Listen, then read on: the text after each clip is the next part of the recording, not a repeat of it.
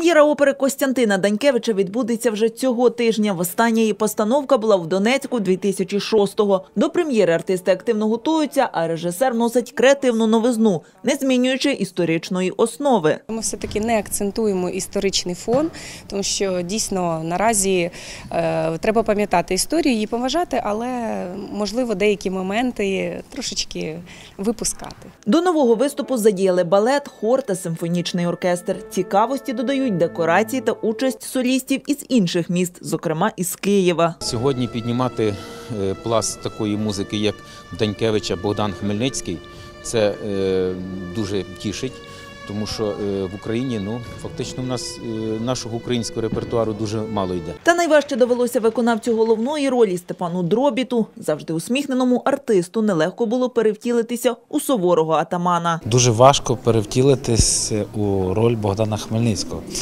тому що, готуючи цю партію, передивився багато документальних фільмів про Богдана Хмельницького і прочитав декілька статтів. Приурочили постановку опери до 80-річчя філармонії. Хмельничани зможуть її переглянути 16 та 18 листопада. Тетяна Москальчук, Сергій Криштопа. Головні новини Хмельниччини.